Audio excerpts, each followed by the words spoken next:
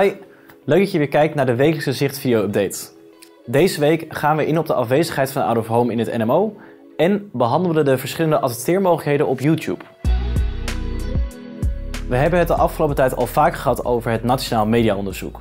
Het onderzoek waarmee het bereik van verschillende mediatypes wordt gemeten. Out of Home is daarbij altijd een opvallende afwezige. Het is voor buitenreclame natuurlijk ook lastiger om alles samen te voegen. Want hoe bepaal je het bereik van een scherm? Hoe weet je het aantal passanten? Voor schermen langs de snelweg is bijvoorbeeld de passeertijd van een scherm heel anders dan in het winkelcentrum.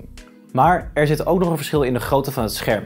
Zo kunnen minder mensen het vlak van een abri zien dan bijvoorbeeld een groot scherm wat hoger geplaatst is. Bij Zicht zijn we het erover eens dat buitenreclame op termijn zeker meegenomen moet worden in het onderzoek. Dit staat voor zover we weten gelukkig ook al op de roadmap van het NMO. Door de ingewikkelde methodiek van het out-of-home bereiksonderzoek was het een stap te ver om dit op korte termijn mee te nemen. Daarnaast zaten ook nog niet alle exploitanten volledig op één lijn. Maar dat Out of Home in het onderzoek zal komen, bevestigen Hannelore Major, Managing Director van JC Co. in onze podcast Zicht op Media. Ja, toen, eh, toen dacht ik van hoe, hoe kan het dat wij niet op het NMO, uh, bij het NMO aan zouden Mhm. sluiten. Mhm. Dus ik heb dat dus opnieuw eh, gevraagd aan de, aan de collega-exploitanten van ja, waar, waar zit dat besluit historisch? En eigenlijk ja, eh, zagen we allemaal voldoende aanleiding om te zeggen misschien moeten we dat besluit nog eens een keer onder de loep nemen en kijken of we misschien alsnog die aansluiting kunnen zoeken. Dus daar hebben we goede, goede en prettige gesprekken over gevoerd en eh, we hebben ons in ieder geval uitgesproken om dat eh, nou ja, de, toch serieus te onderzoeken en te overwegen. Omdat dat, ja, dat naar, naar mijn mening de, de sleutel moet zijn naar een groter Hm. marktaandeel voor buitenreclame. Als dit er is, dan kunnen we in de toekomst makkelijker de toegevoegde waarde van Out of Home in de mediamix aantonen.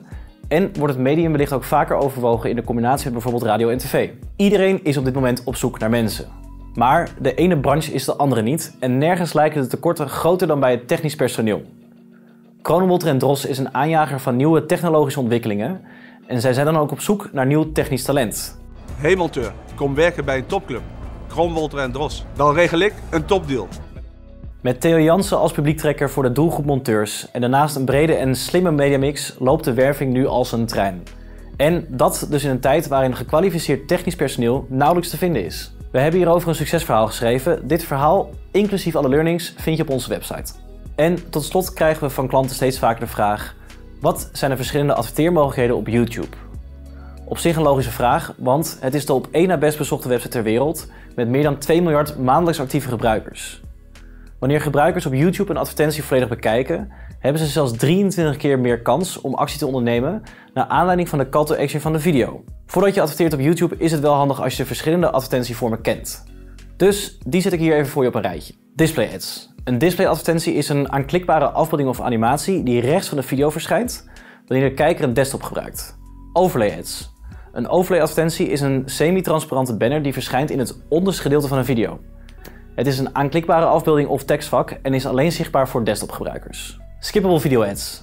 De naam zegt het al, een videoadvertentie die kan worden overgeslagen. Deze advertentie speelt in de videospeler voor, tijdens of na de hoofdvideo. De lengte kan variëren van 12 seconden tot 6 minuten. En kijkers krijgen de mogelijkheid om de advertentie over te slaan na de eerste 5 seconden. Non-skippable video ads. Je raadt het niet, maar het is het tegenovergestelde van een skippable video ad. Een niet skipbare videoadvertentie moet worden afgekeken voordat de kijker door kan naar de hoofdvideo. Zoals hierboven kunnen deze advertenties ook voor, tijdens of na de hoofdvideo verschijnen. Deze hebben een maximale lengte van 15 tot 20 seconden. Bumper ads. Een bumper advertentie is een niet skippable videoadvertentie met een maximale lengte van 6 seconden. Ze kunnen zowel op desktop als mobiel worden bekeken. En tot slot sponsored cards.